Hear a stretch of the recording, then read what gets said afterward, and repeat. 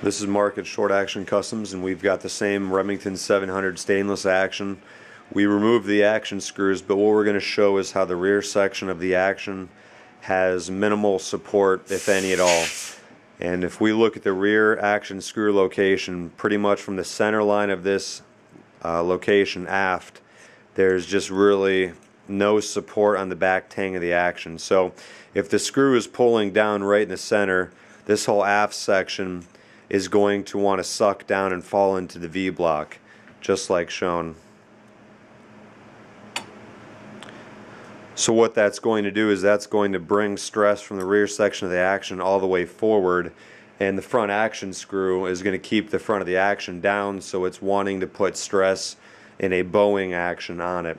And um, what you're going to be able to see right now is some marks that are left on the V block just from the action getting uh, minimal contact.